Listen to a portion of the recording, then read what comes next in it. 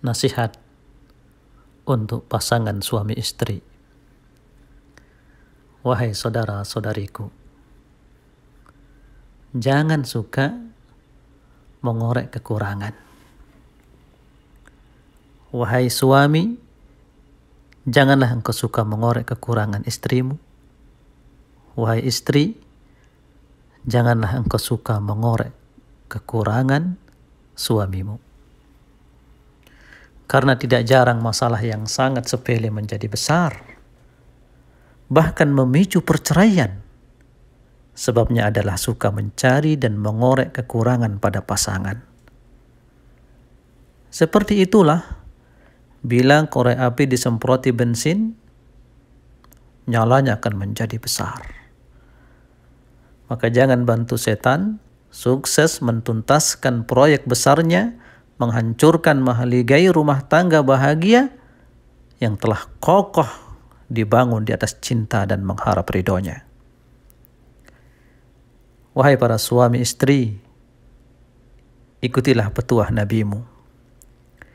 Bila engkau mendapati kekurangan pada pasanganmu, maka segeralah kembali dan ingat bahwa dia memiliki banyak sekali kelebihan dan kebaikan la yafraq mu'minun mu'minah in kariha minha khuluqa radiya minha khuluqan akhar Janganlah seorang mukmin, seorang suami membenci wanita mukminah istrinya.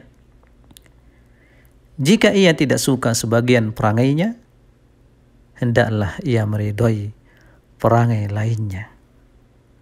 Perangai kebaikan yang dimiliki oleh istrinya. Wala tansawul fadla bainakum Jangan kalian melupakan keutamaan di antara kalian, wahai para suami istri. Sungguh ruang waktu ini sebenarnya sempit.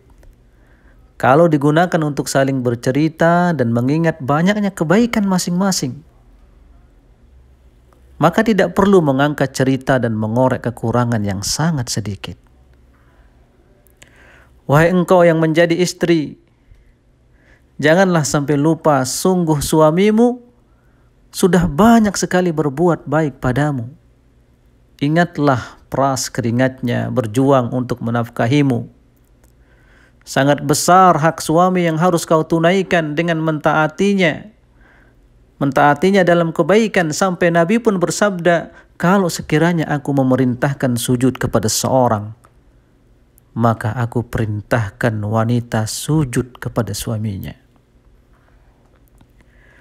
Wahai engkau yang menjadi suami, engkau tidak akan pernah mampu menggantikan lelahnya istrimu, hamil, melahirkan, dan mengurus anakmu.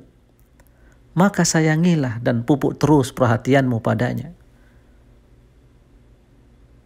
Dan pastilah penampilannya mungkin sekarang berbeda dibanding bulan dan tahun pertama pernikahan. Tapi bukankah itu karena dia telah banyak melahirkan pejuang-pejuang penyejuk matamu, melahirkan anakmu? Maka ketahuilah, sungguh engkau belumlah dikatakan sebagai laki-laki dan suami yang baik, terkecuali setelah mampu menjadi terbaik bagi istrimu, terbaik di hadapan keluargamu.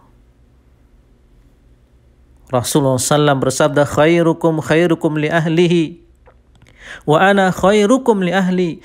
Sebaik-baik kalian